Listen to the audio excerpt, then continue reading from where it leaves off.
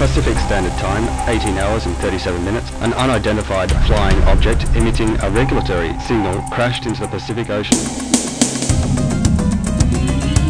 This is Ringbird. Eldridge, do you read? This is Eldridge.